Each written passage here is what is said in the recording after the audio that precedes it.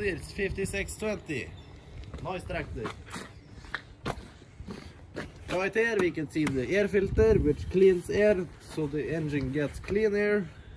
And here we have the battery so the tractor can start. Here we have a diesel filter I think. And we have the alternator, Let's here are some the battery. fuses of some kind. And yes, yes, this is the potte and the turning indicators. We have some arbeidsdamper, working light for what the fuck it's called. And there we have a side mirror. Mirror, yes. Here we have some buttons to control the, the Arms? the um, Arms? pull arms. Pull arms. And we have a top link, The top link. hydraulics, Hydraulics. and we have the fucking hook. The fucking hood. Yes. And a padlock, just for safety. yes.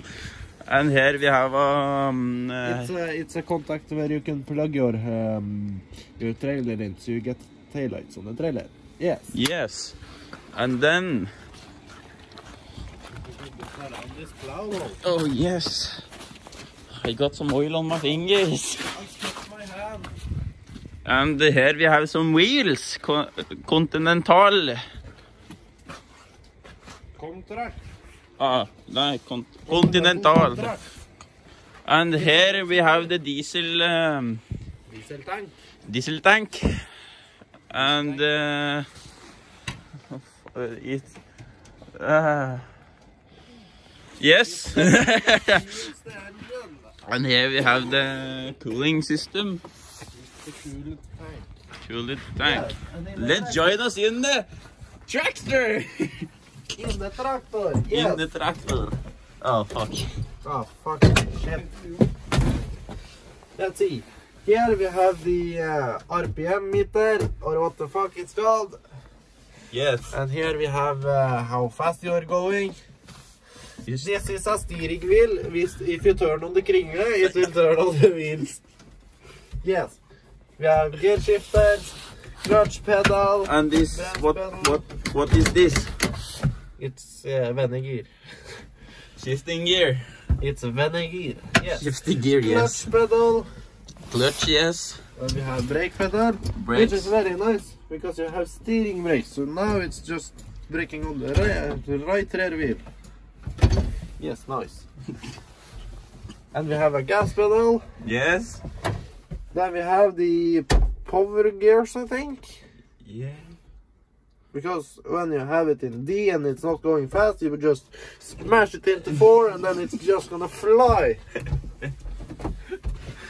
Here you have the um, switch to turn on the PTO, Here you have the self-control. the hand, hand, Hand- gas. Hand gas.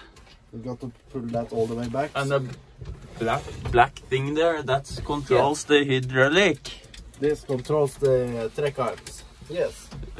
Pulling arms. Yes. Pulling arms, yes.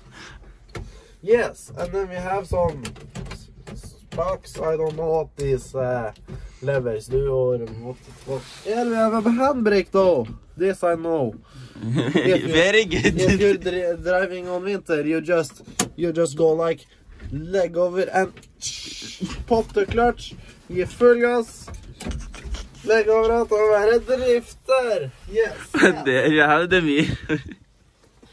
And there you have a Sunvisor. Sunvisor, and you have a top luke. Yes, you have this nice sunroof where you can get some sunlight in Oh, in the summer and some fresh air when you're out. And you have a stereo ra radio.